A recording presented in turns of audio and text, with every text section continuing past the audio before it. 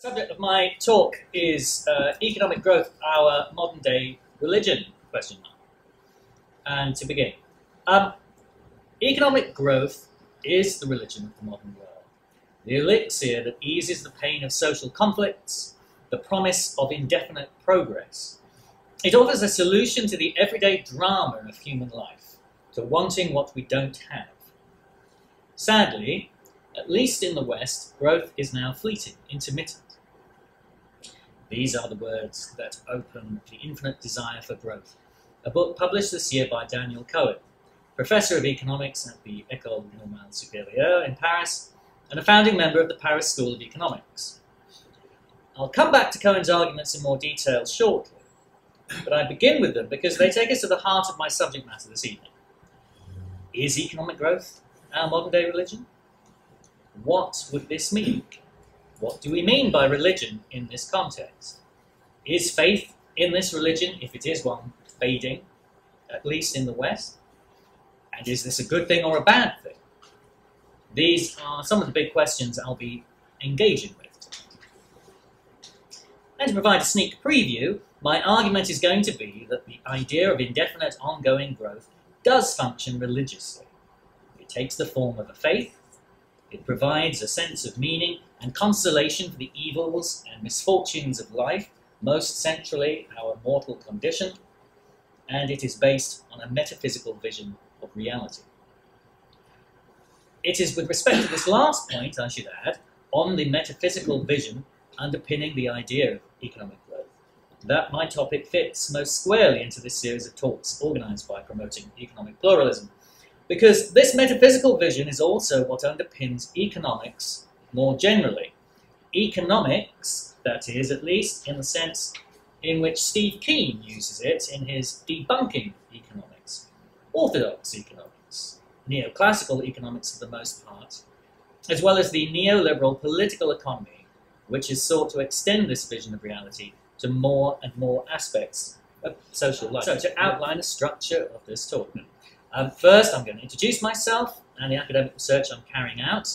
Um, this talk comes out of. Next, I'm going to say a few words about why this topic matters, and not just in terms of this being a live debate intellectually, but in terms of the economic situation it connects to, and thus its overriding political urgency. And then I'm going to go through my actual argument.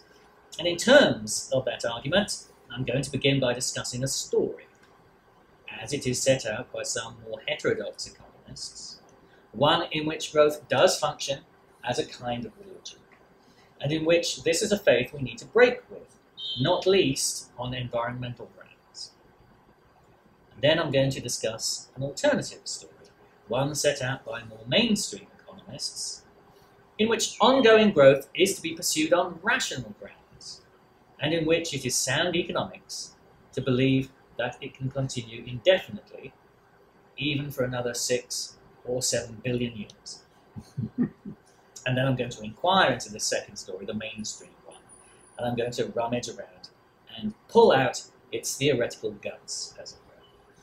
And I'm going to seek to show that one of the concepts at its heart is something called economic reality, and how this is a deeply metaphysical form of thinking. But first, um, as I said, let me briefly introduce myself and my research. Um, I'm a PhD candidate in the Political Economy Research Centre at Goldsmiths, University of London. Um, next slide, please.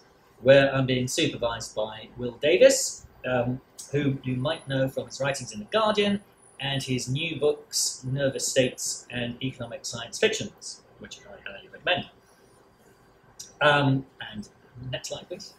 Uh, previously, um, as Henry mentioned, I was a committee specialist at the House of Commons Environmental Audit Committee, where I drafted reports on the economics of climate change, emissions trading schemes, and green taxation. Um, I've also worked on reports on the value for money of a range of government policies from the National Audit Office, and I've written a variety of articles on political economy, especially regarding the environment, for publications such as the International Journal of Green Economics.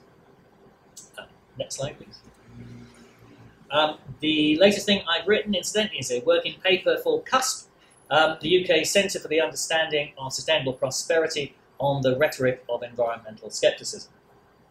And on this subject, its CUSP, uh, whose director, as Henry mentioned, is Tim Jackson, who's best known for his book Prosperity Without Growth, um, who are funding my PhD. My research comes under CUSP's strand of work on the meanings and moral framings of prosperity. My PhD asks the question why it is that in the nearly five decades since publication of the Club of Rome's Limits to Growth report, the message at its core, that you can't have infinite growth on a finite planet, has not exerted a greater influence in international politics. In investigating this question, I am performing a reading of the limits to growth debates through another debate, the secularization thesis debate. Next slide. Um, and uh, we have here a couple of pictures of um, a couple of main protagonists in this debate. So there's the um, on the left there, there's the German philosopher Karl Löwith, and on the right, um, uh, not a picture of uh, his, of his in the debate, of a central book. Um, it's Hans Blumenberg's The Legitimacy of the Modern Age.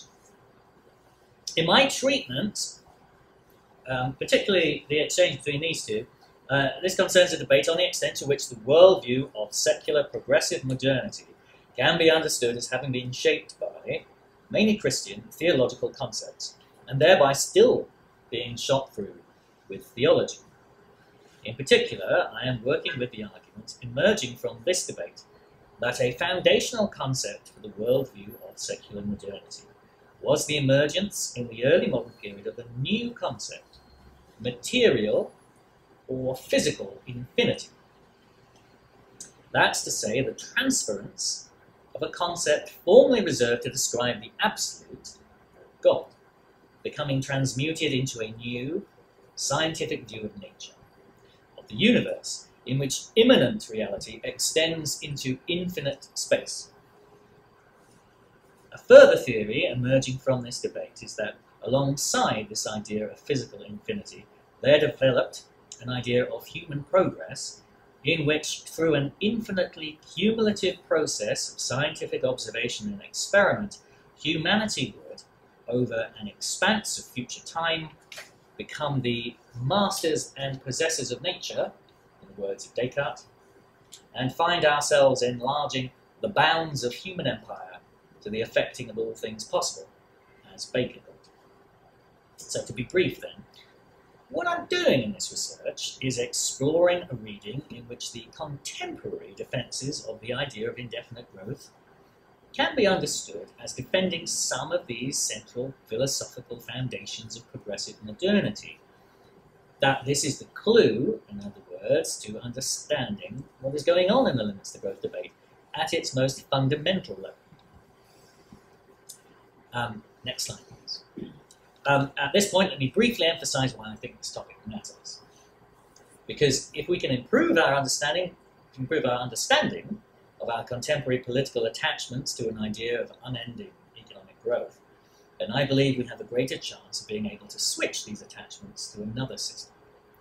And this in turn matters because of the state of the planet. to take climate change alone, recent reports by the United Nations, the World Meteorological Society, and the US National Climate Assessment make for distressing reading. The outlook is not good. As the UN highlights, there is an enormous gap between what we need to do and what we're actually doing to prevent dangerous levels of climate change. So, to turn now to the argument that I want to sketch out. Um, next slide, please. And to go back now to Daniel Cohen's infinite desire for growth. As Cohen presents it, growth is a good thing.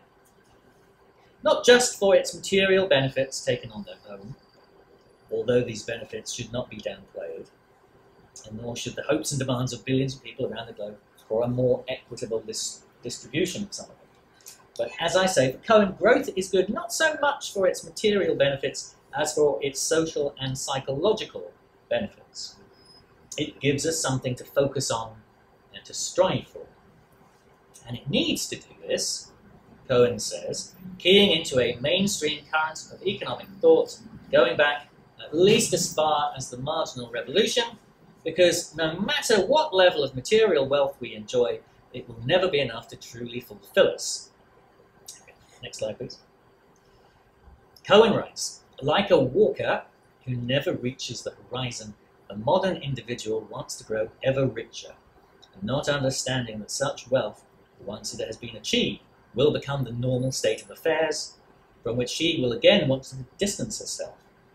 Human desire is profoundly malleable, influenced by the social circumstances in which it finds expression.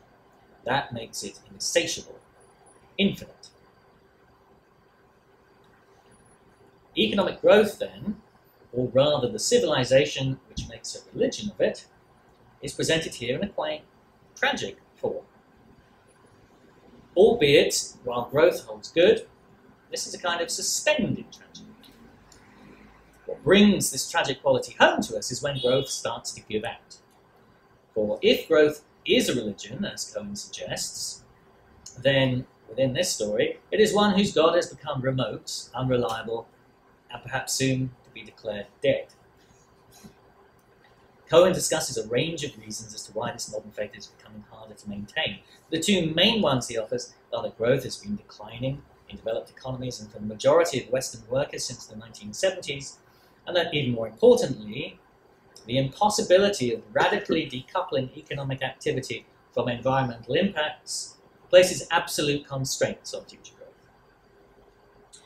Cohen likens the resulting mood we are experiencing today to the spiritual angst of the European mind in the 17th century, as it struggled to adjust to the waning of belief in the presence of God in a scientific universe. Today's politics of xenophobic scapegoating comes as no surprise to him in such bewildering times. In addition to this discussion of Cohen's book, I'd like to make a mention of the work of Tim Jackson.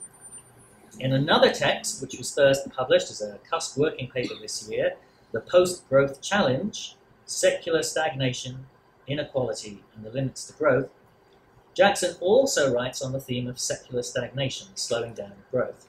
And like Cohen, but much more emphatically, he argues that not only is growth slowing down, with deleterious social impacts in a system still geared to continuous growth, but that it is environmentally unsupportable, and that the physical throughput of resources must be curtailed if we are to have a chance of staying within vital planetary boundaries. In this, he is working in a tradition of ecological economics, founded half a century ago by the likes of Nicholas Georgescu Roegen and Herman Daly, who stressed that the economy should be understood as a subset of nature and that ultimate limits are placed on our use of natural resources by the physics of entropy. And one final word on Jackson here. He has also likened our pursuit of economic growth to a religion. Or to be more precise, he has analyzed consumerism as a form of theodicy. And in this inspires some of the orientation of my research. Next slide, please.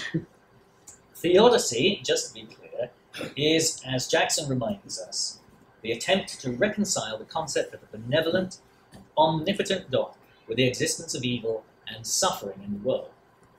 From a secular psychological perspective, theodicy can also be construed in terms of a search for meaning.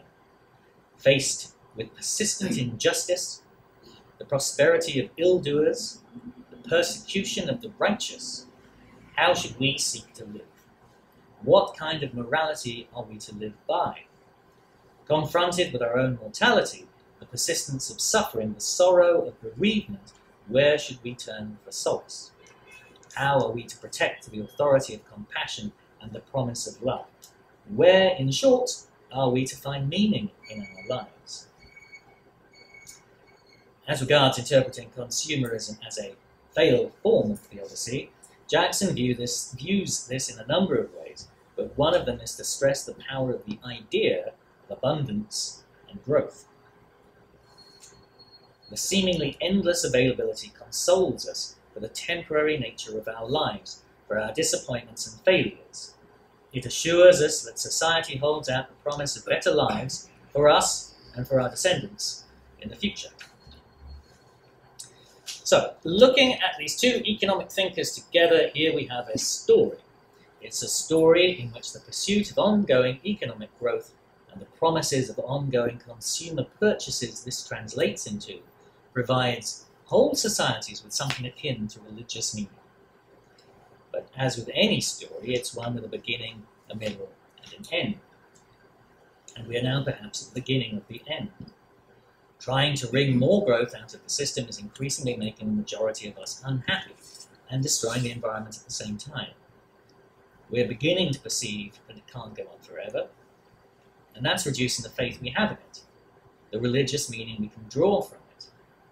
We are increasingly falling prey to, as Cohen put it, a spiritual angst. So that's one story we have there. But it's not the only one there's another story. One which takes much of the same material and accepts many of the same challenges, but turns it into something else, providing us with a happy ending. Or rather, and this is the crucial bit, no ending at all.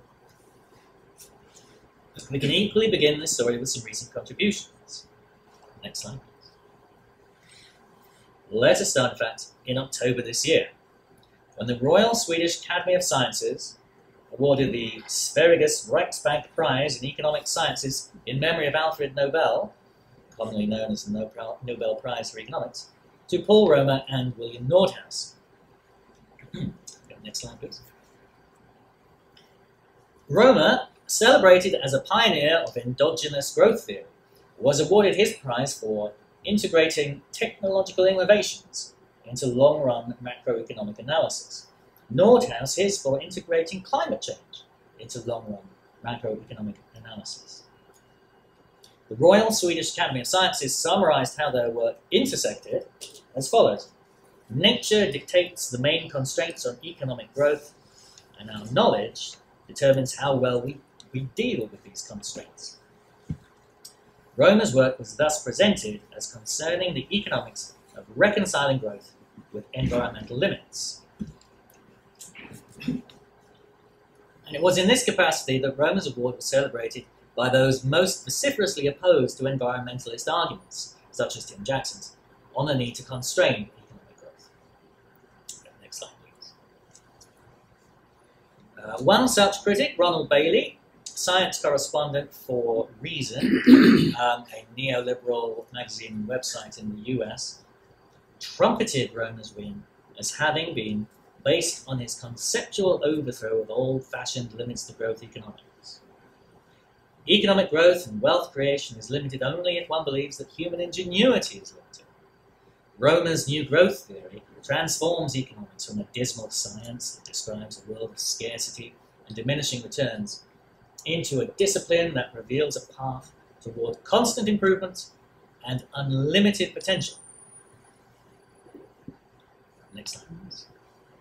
Closer to home, the sustainable investment expert Michael Liebreich authored a blog entitled The Secret of Eternal Growth, which received considerable attention and which described the awarding of Nobel Prizes to Romer and Nordhaus as a huge slap in the face for the champions of degrowth. Liebreich, it should be pointed out, is by no means an anti-environmentalist, he accepts the need for urgent action on climate change, for example.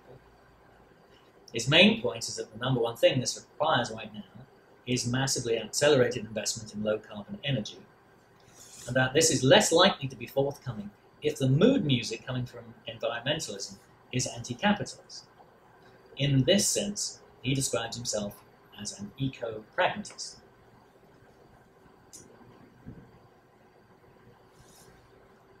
So Liebreich describes himself as a pragmatist. But let's take a look at some of the language he uses. the next slide, please. In using Romer's work to suggest that ongoing economic growth is compatible with mitigating climate change, Liebreich makes the far-reaching claim that there is nothing in physics to stop the economy from growing forever. How does he support this?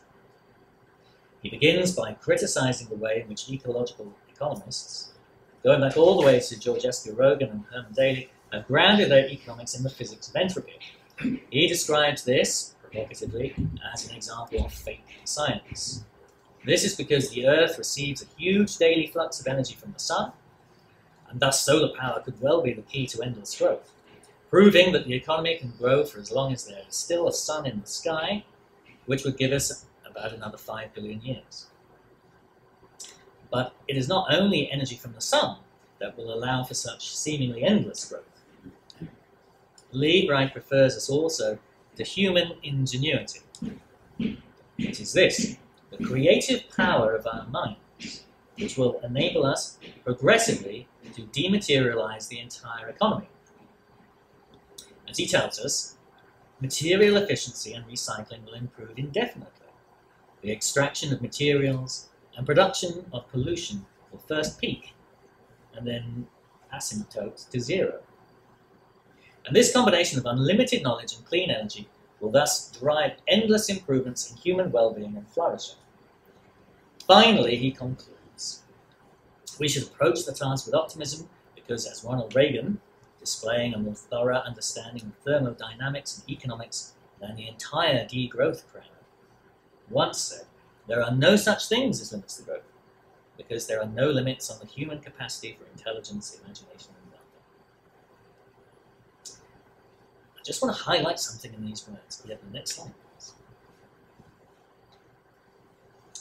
What do we see here?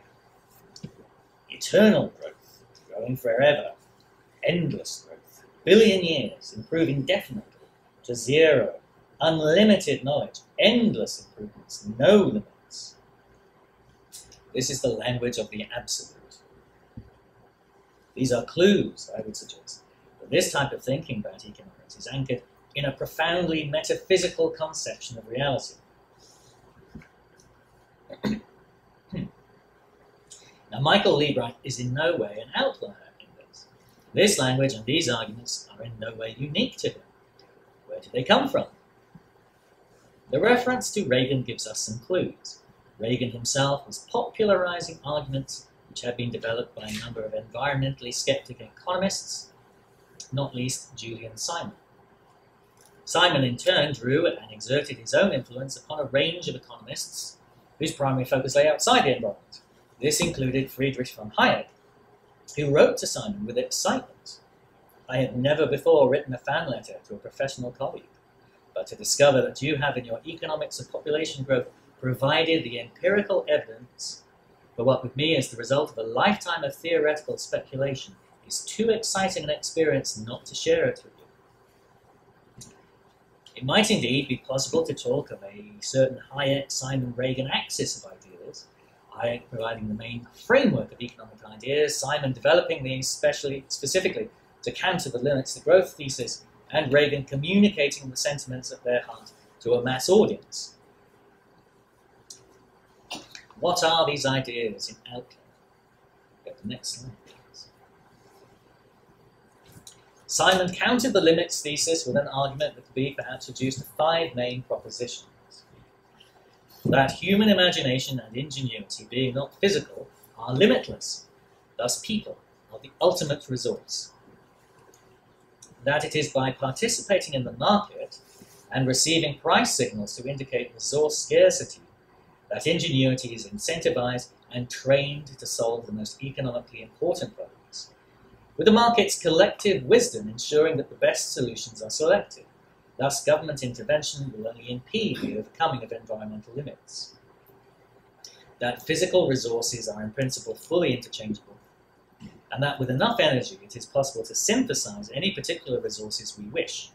Thus, energy is the master resource.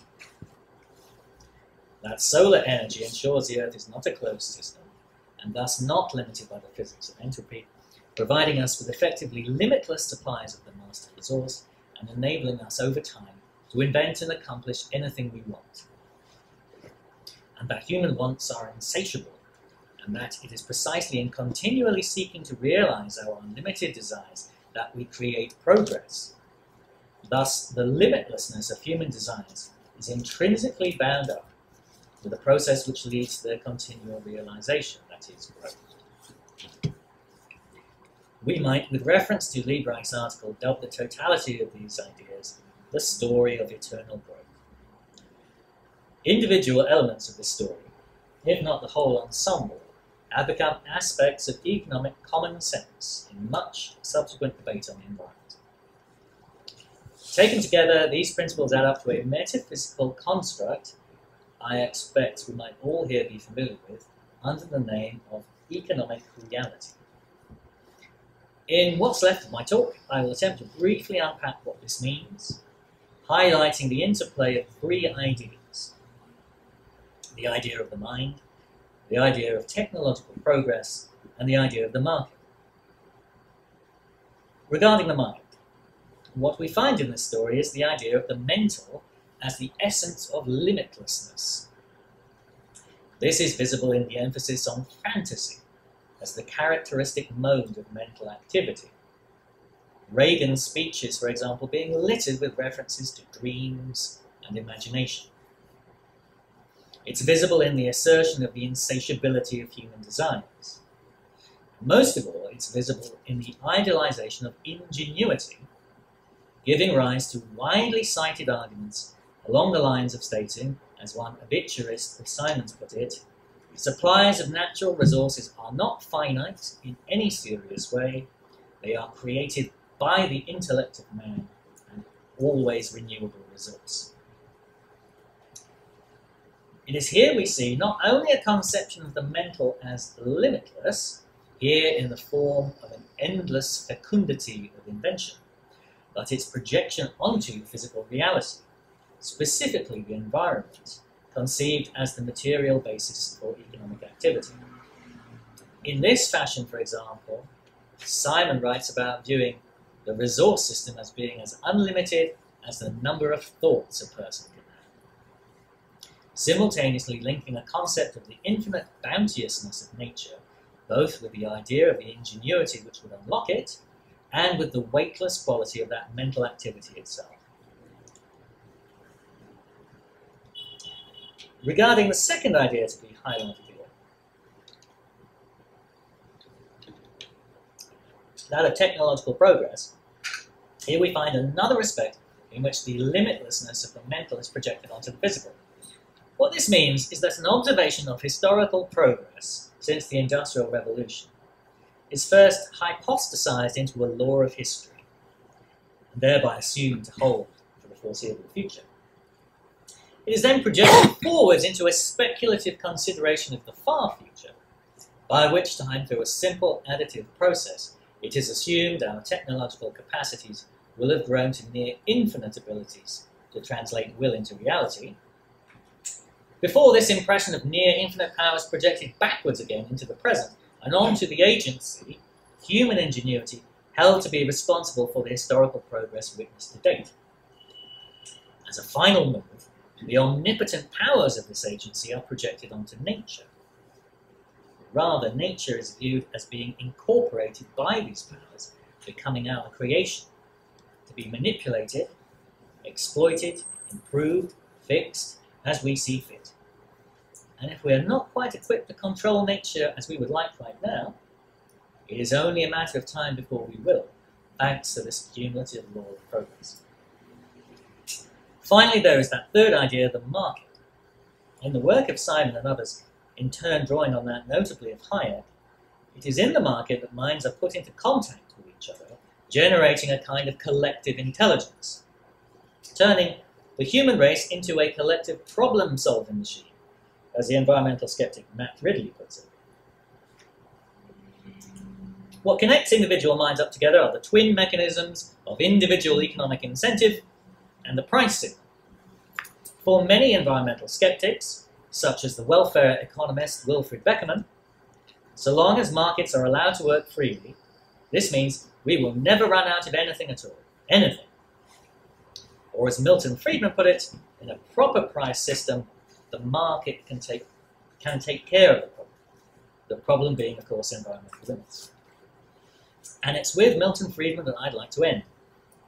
There's a great exchange Friedman in a wonderful book by Carla Ravaioli entitled Economists and the Environment, which nicely expresses what I'm talking about when I refer to something called economic reality. Next slide, please. Friedman and Ravaioli are having an argument about whether natural resources are really limited or not. Friedman takes issue with her view of scientific reality, which says that of course physical resources are finite. Friedman tells her, take oil for example. Everyone says it's a limited resource. Physically may be, but economically we don't know. Economically, there is more oil today than there was 100 years ago. When it was still under the ground, no one knew it was there. It wasn't economically available. When resources are really limited, prices go up.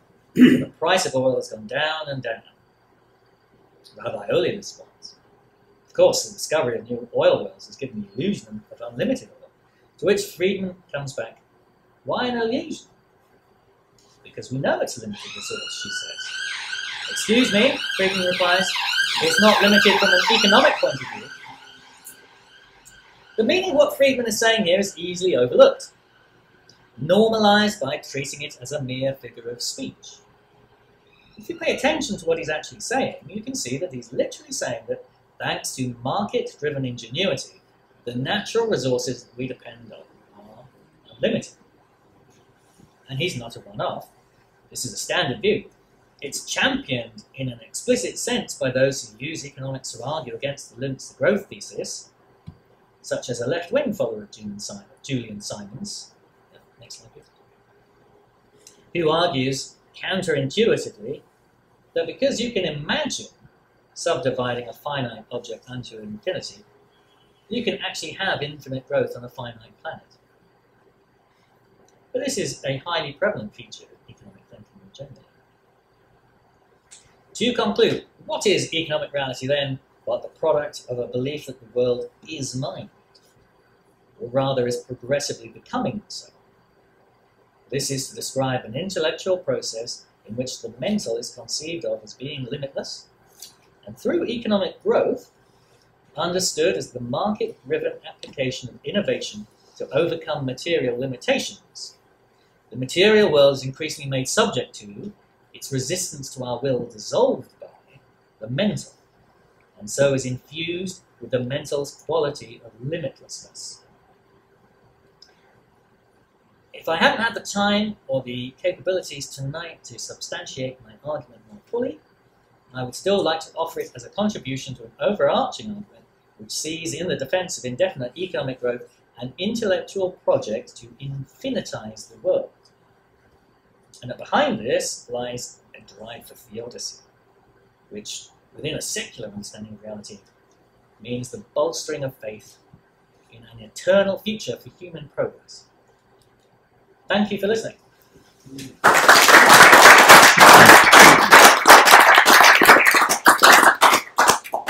Thanks very much, Richard. I might just uh, take uh, uh, the opportunity to ask you a couple of questions to start. Um, as I say, you've, you've talked about maybe the theology or the theological dimension of religion. Um, in terms of you know these these great thinkers and so forth. And um, religions obviously have other aspects to it, like you know, worship, uh, catechism, uh, um, things like this. So do you? So in, in suggesting that economic growth is a religion, do you also what do you see as the catechism, the uh, um, the um, where do we worship? Is, can you also make the, the, the, uh, the argument that the process of consumption or something like that is a sort of religious act as well? Or uh, are we going too far? Um, well, certainly I'm not alone in exploring this area. Um, and there's, I think, an increasing interest in the idea of economic theology um, which uh, has possibly developed from or alongside uh, an increasing interest in uh, political religion as well. Um,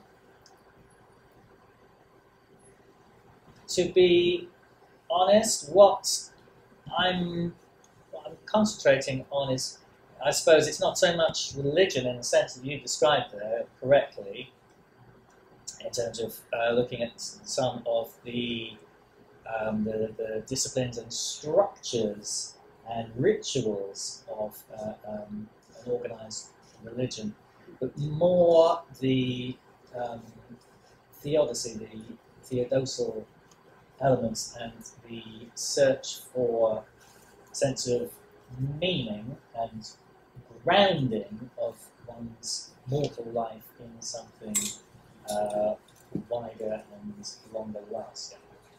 So I, I possibly wouldn't go looking for you know analogies um, you know, whereby you'd treat the supermarket as a form of church, things like that.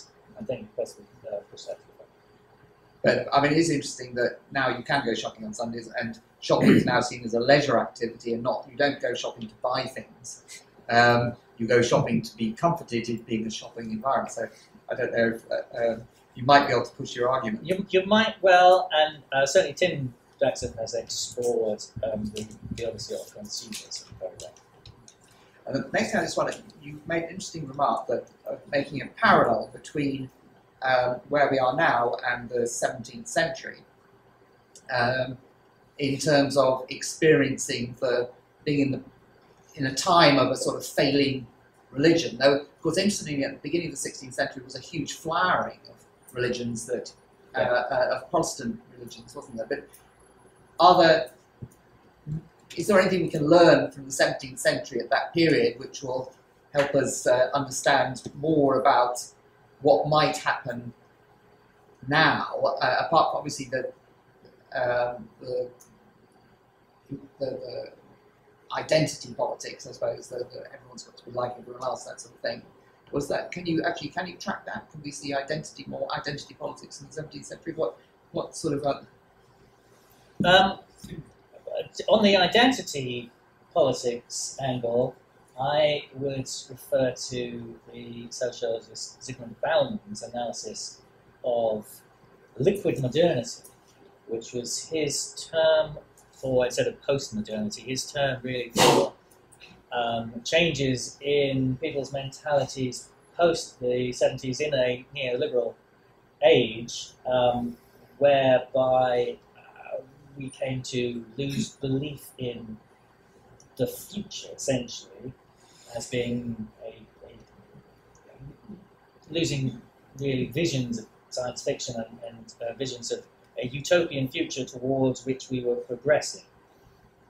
Um, and in place of that, or we, we talked about um, how that um, left people feeling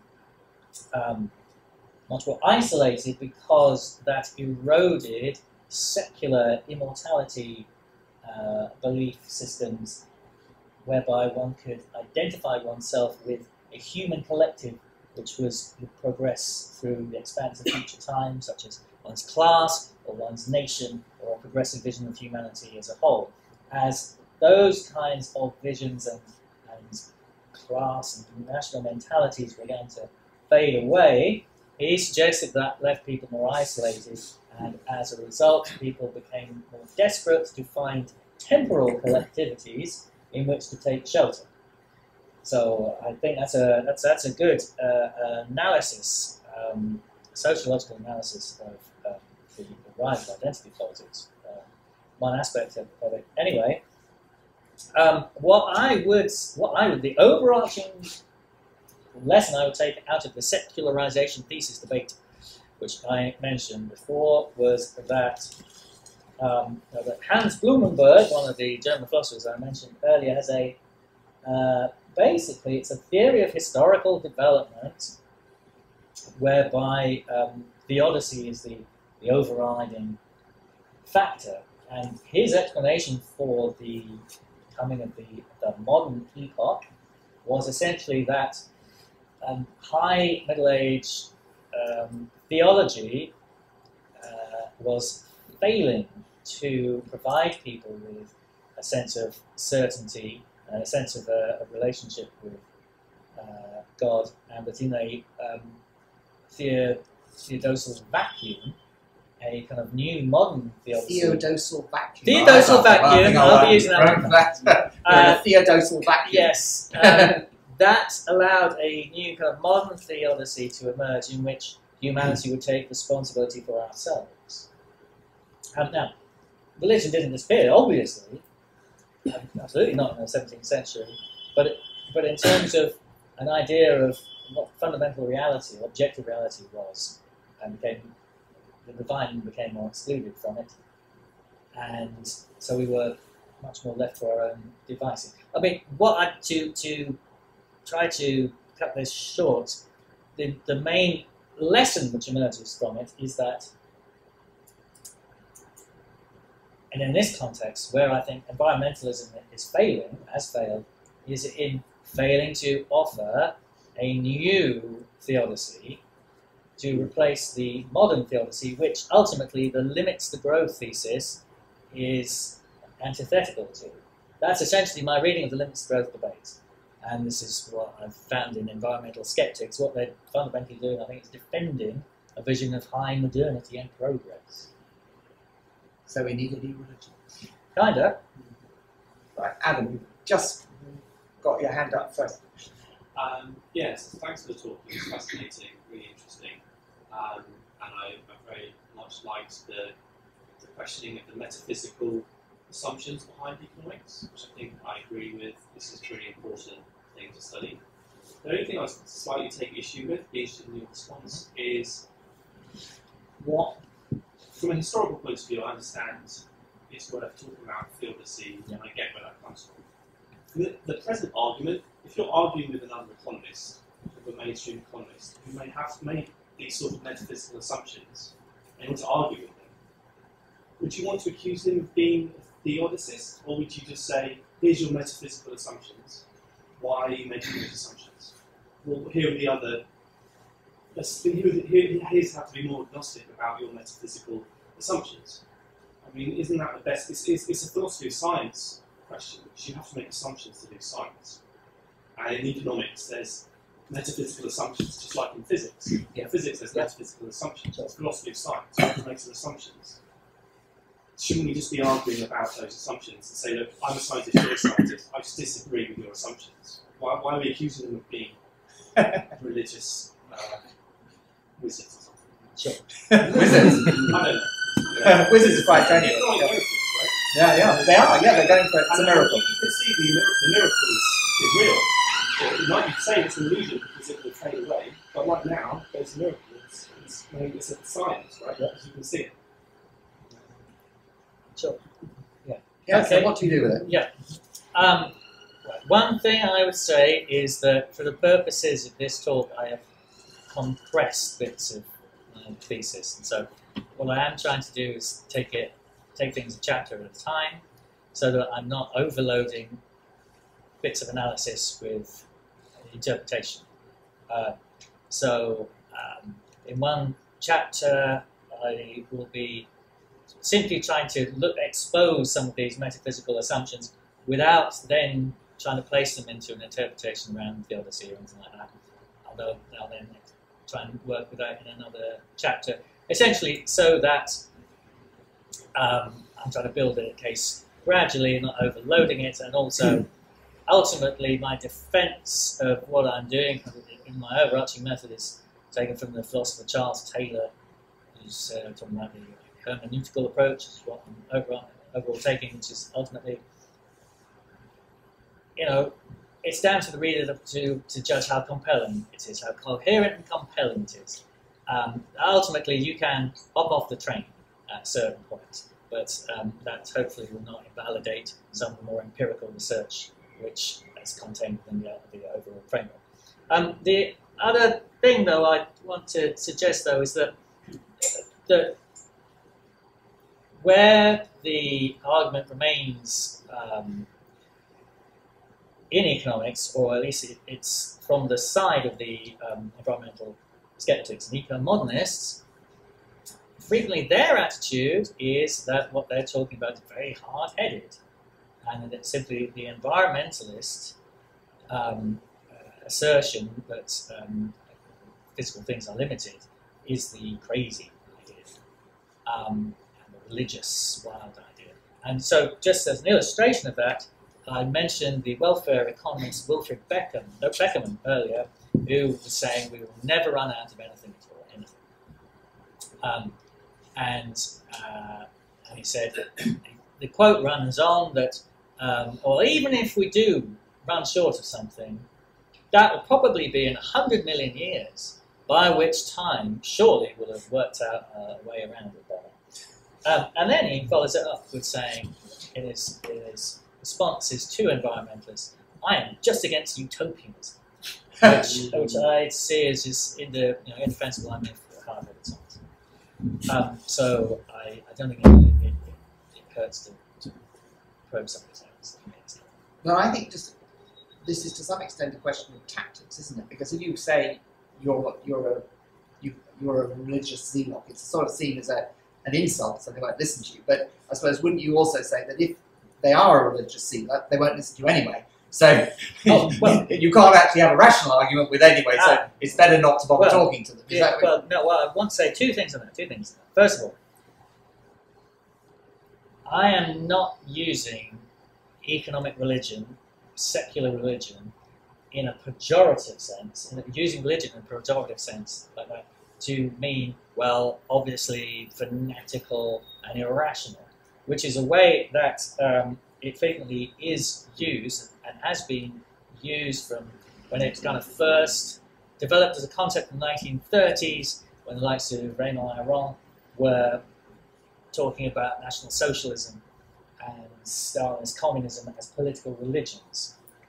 Um, I am rather saying that um, it's an entirely rational um, aspect of human existence to try to understand our place in the cosmos. That's, what I'm, I'm saying. So I'm not simply saying they're fanatical and crazy. The other thing I would say is um, go back to the Michael Liebreich's um, piece on the secret of eternal growth. That did prompt a few, you know, responses, comebacks, including one from Tim Jackson, which went on uh, in quite a lot of detail about talking about the physics of entropy and why he was wrong on the physics and why he was wrong on the economics, and he just batted it away and said, "No, you're wrong. You don't understand it." and I think possibly in, in cases like that, it helps to just go underneath the surface of arguments a little bit. Um, I think that was fascinating because it introduces um, lots of problems um, and solutions. Now, you mentioned the, the ingen- ingenuity of man to solve problems. Um, for example, um, there's plenty of energy around. Um, if we harvest half the sun that's falling on Libya, we've got quite enough for the whole of the world. And there's lots of other places we could harvest it from. Um, there's um, and if you think back to a hundred years ago, I had some distant relative who went on a boat to Australia and never ever saw her parents again. Um, if you told them at the time, well, it's all right, you'll be able to watch them on Skype, people would have said, don't be ridiculous.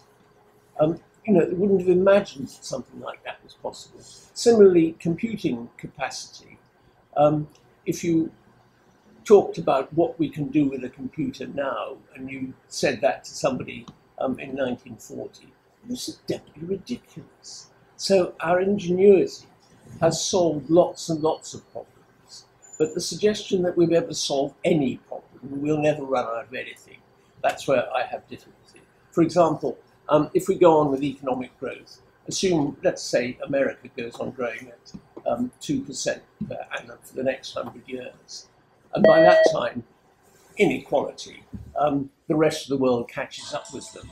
Um, we'll have um, a, a global economy which is about 100 times what it is today.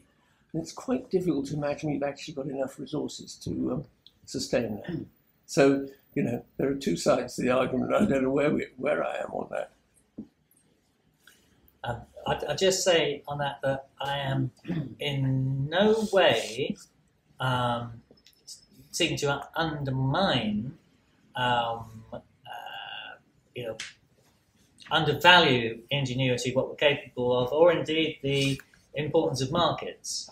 It's simply the extra magical thinking overlaid on them, which supposes that because we've done X, then we'll be able to do Y, Z, and uh, you know infinitely more. Um, yeah, thanks fascinating talk, and I think that there's a lot of um, truth in, in what you're talking about, the, the theodicy argument, and um, so, and it's really difficult to to argue against growth because of all the great things it has given us up till now, and then also also because it is the um, like you were saying in the beginning of the talk, one of the uh, founding principles of modernity.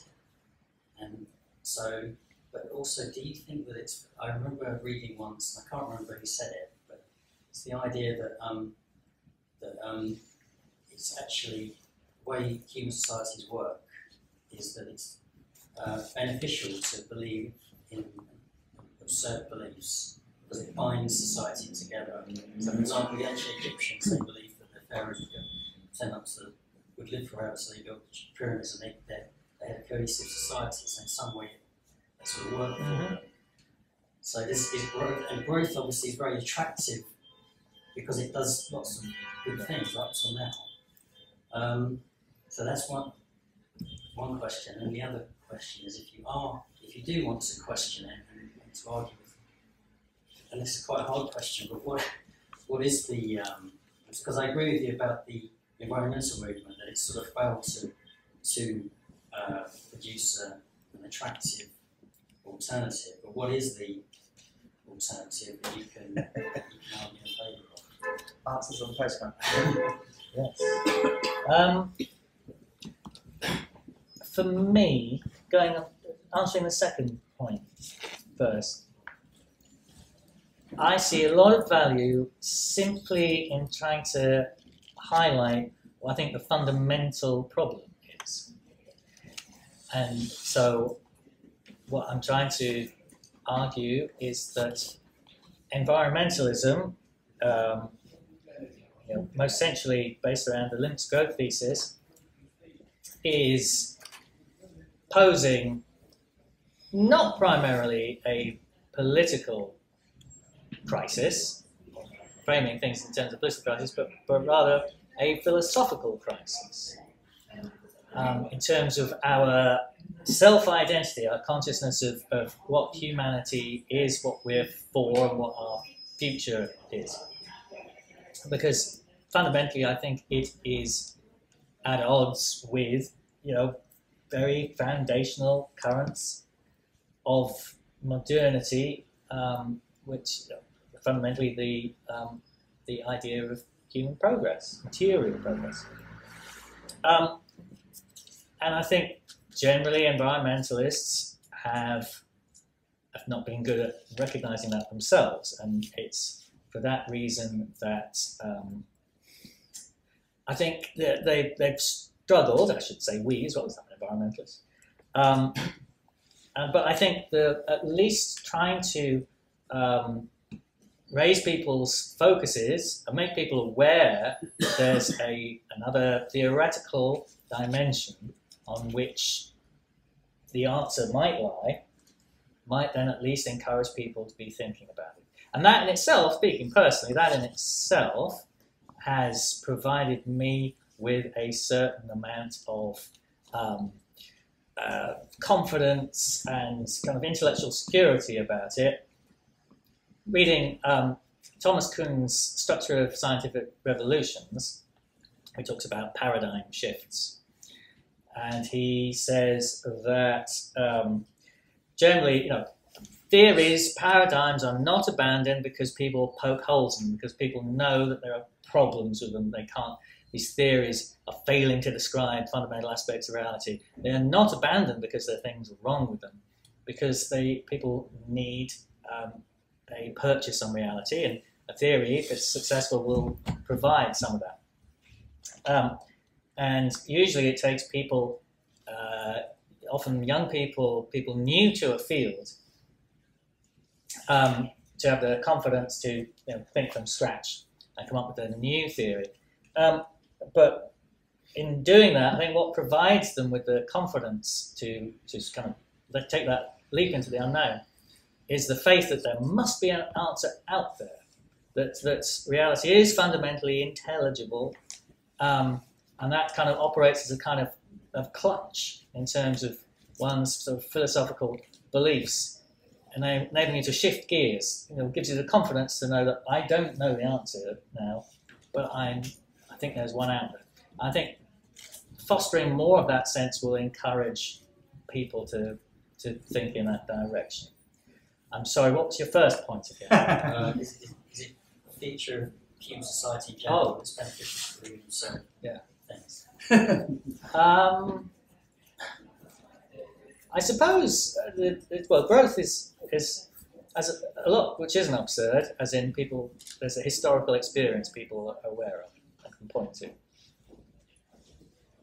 And, uh, and it's also rational to want to believe in it because then, as, as one of the Tim Jackson quotes said, you have a feeling that things are getting better and things will be better for my descendants, and that provides a sense of security.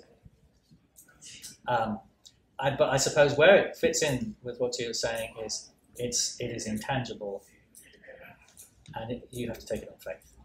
And I think it's a requirement for faith probably does fulfil that role you were describing.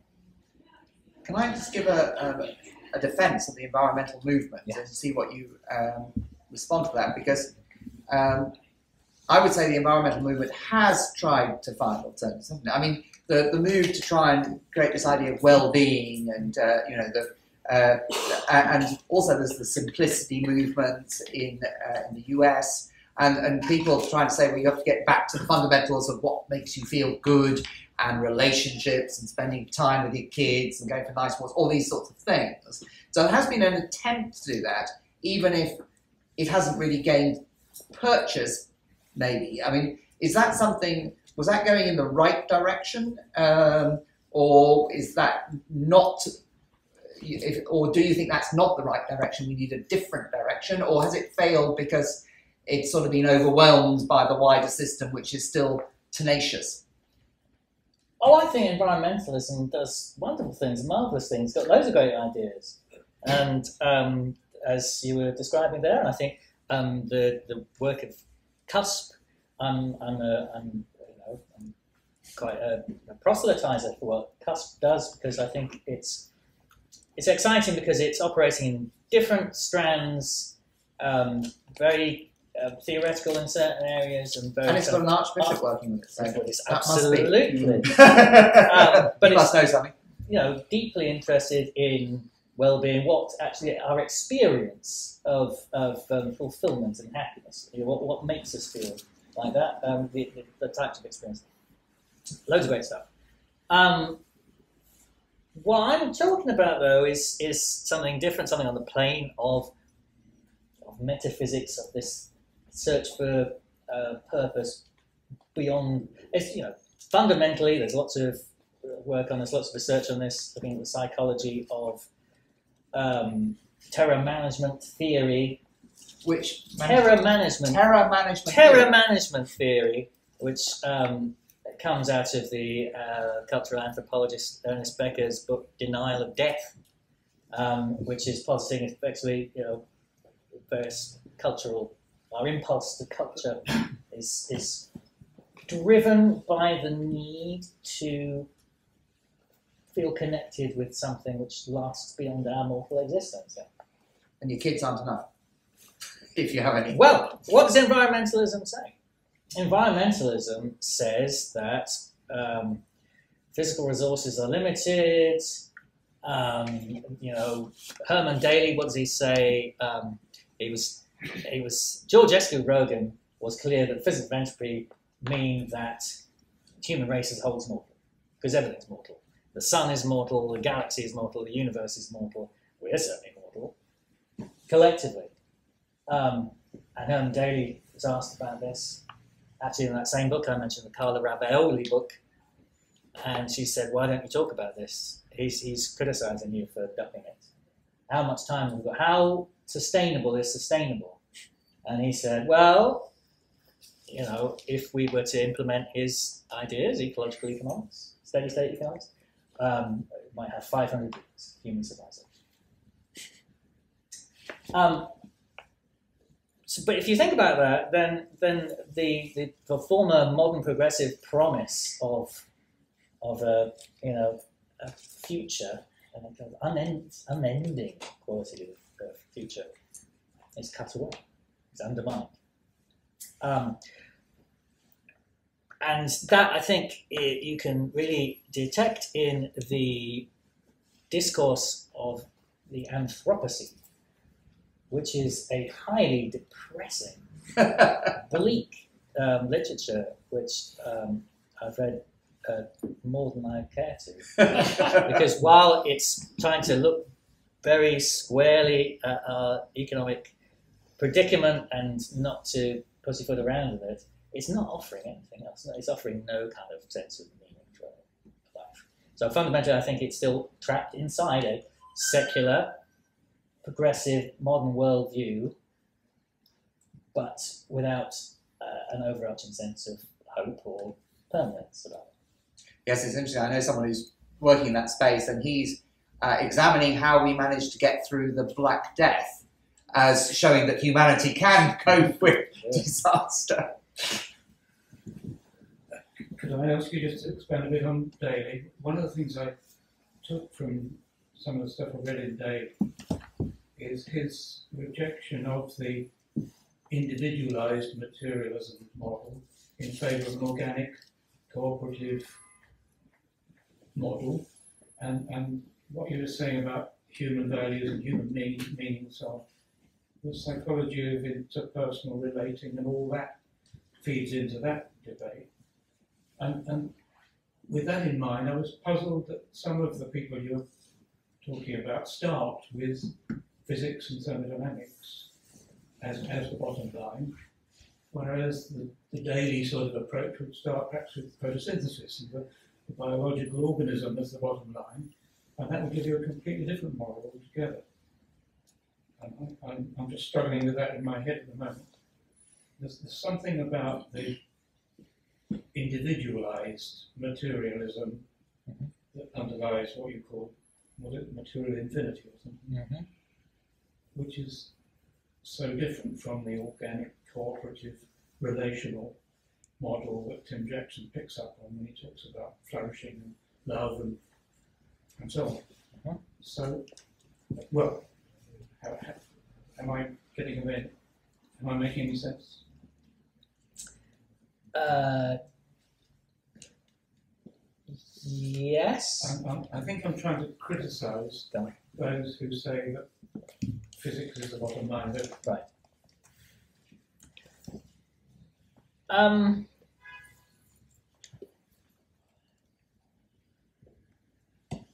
well, I think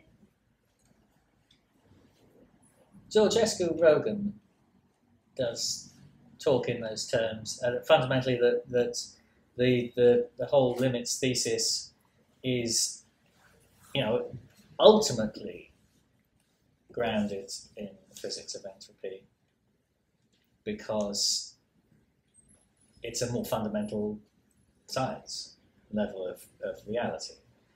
Um, so, I mean, ultimately, for example, that that's discussing the um, energy received from the sun and the continuation uh, of um, of energy, um, which is the, you know the, the, the fundamental underpinnings of, of the idea of scarcity.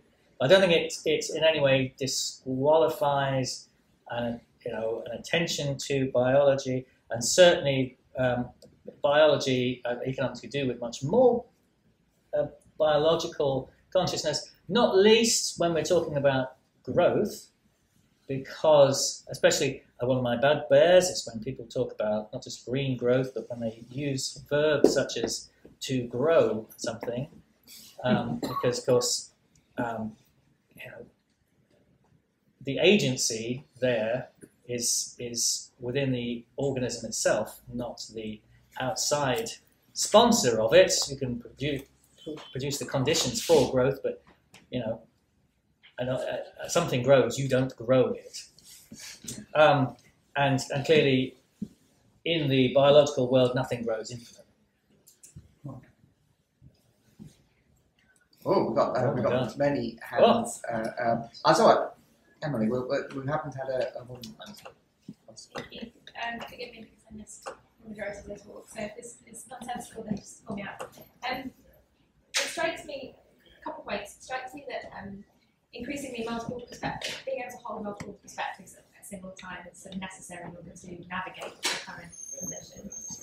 And so um, you talk about hope. I was at a workshop a of weekends ago called Active Hope, using Joanna Macy's work, very much engaged in the interpersonal process, and you feel into exactly what you're hopeful about and what you value. At the same time, looking at the state of the world and uh, from a very kind of uh, deep point of view. And I think uh, experiencing the hope and the grief are actually skills, quite hard skills, that probably are increasingly necessary in order for getting our heads out of the sand a little bit. Mhm.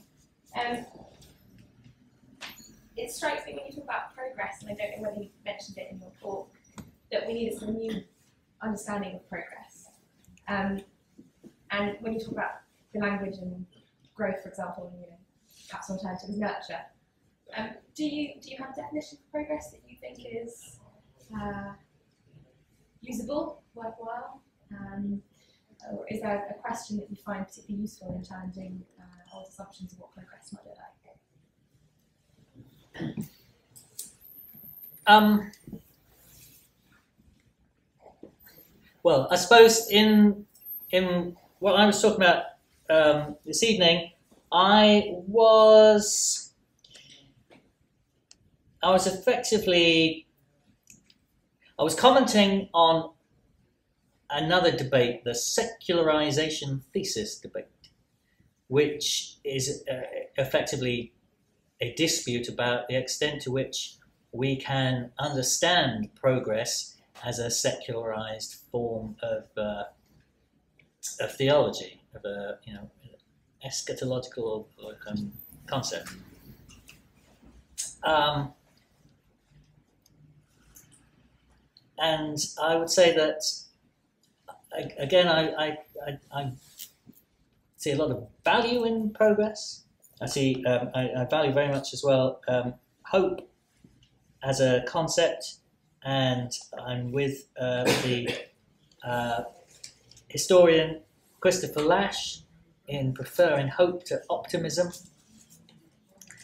Uh, he links optimism to progress, and uh, and dislikes it because it's uh, an assumption, a kind of material assumption of things happening in a certain fashion, in a certain linear uh, upwards fashion, and, in a very materialistic fashion, whereas hope is not um, uh, materialistic and is uh, it's a more human emotion, um, and where you're not you're not certain of the outcome. That's why you need to invest yourself in in hope. Um, but I wouldn't, you know, in, in no way would I want to um, uh, come out as a as a an opponent of progress or someone who doesn't value um, technology. Um, though I'm an environmentalist, I certainly got a Promethean streak in me as well. Um, but right, let me turn the question back to you. What do you, what, how do you understand progress? a little short change because I, I, I unfortunately missed the lecture. But um, I guess um, I agree with you. I don't think um, well, my my peers don't buy that economic growth looks like progress to them. It doesn't feel like progress. Um, I suppose when I think about progress, I think about um, things like good relationships, skills which are, I think, uh, needed and missed out on, like the ability to grieve properly, the ability to care and nurture for small beings, for animals, for non-human entities. Um, I think it probably looks like balance. So I think paying attention to the relationships between uh, elements within a system, um, rather than just sort of a violent reductionism, which can I think cause quite a lot of harm, both in terms of the way we think about how to solve problems, but also how we how we relate to them and how we can shut them out. Um, I think probably patience, about the cultivation of particular uh, qualities within organisations and within individuals that um, maybe are are missing in certain paradigms of progress currently. Um, for me, there's an element of social justice um, that progress would look tend towards uh, in a way that it's not at the moment. And I think one can't look at that without considering the you know, 100 million refugee, climate refugees that are anticipated. Um, so I think it, it's very much me around how we respond to each other and how we construct organisations, our societies, our individual purchasing behaviours, um, how we listen, um, intergenerational relationships. Uh, I think there's a, there's a bunch of different things which to me feel like we could make progress on and aren't included in a linear growth trajectory. Okay, so you wouldn't necessarily see progress as a material, No. and a, and a, or an unending thing. No, Okay. I think the idea of progress historically, Yeah. yeah, I think that's what it was.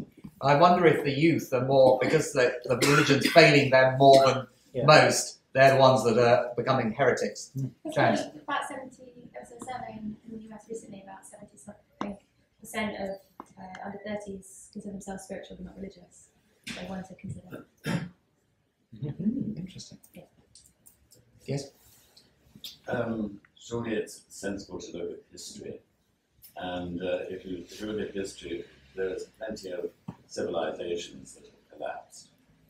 They collapsed basically because they didn't think scientifically and they ran out of resources.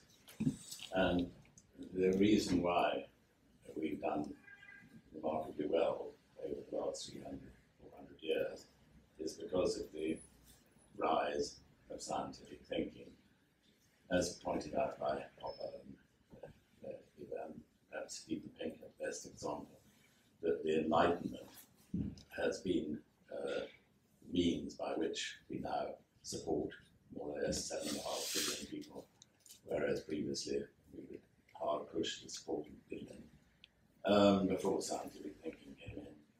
And therefore, uh, it's been proven that religious thinking doesn't pay off. and therefore, if you want to uh, solve problems, the way you solve problems is by evidence, getting evidence and understanding how nature works. And if you if you work against nature, the record shows that nature will win. And the, the, the, there are several collapsed civilizations to show that this is the case. And therefore, I think uh, it's quite right to call it a religion, what uh, people like Simon and so on uh, uh, talked about, um, because it, it is non-scientific thinking. They are not, they're ignoring the evidence. I mean, Dieter Helm, as an example, always annoys me. He, he thinks, what he's saying basically is something will turn up, it always has done in the past. Technology has always kept up, so obviously it's going to go on. No logical basis for saying that. So I think, I'm afraid that it simply doesn't stand up as a, as a thesis. And like Popper, I think every scientific thing is a hypothesis and it's ready to be destroyed as a, as a thesis.